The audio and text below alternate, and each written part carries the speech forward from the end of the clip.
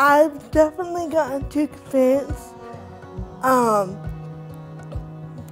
some of the normal college kid things. And that's something I never thought I would be able to do.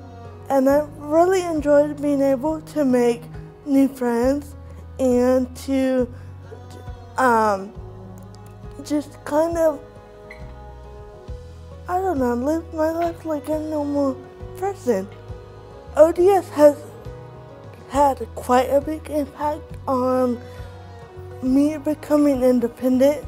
They helped me um, with accommodations that I would need for class. They helped me solve any problem that I may come across. They just kind of helped me realize that my disability is not a um, hindrance. And I've been able to help you guys with some of the marketing, and I just think that's a fun experience because a lot of people don't get to do that. And I've been lucky to experience some of that, and it's been really fun.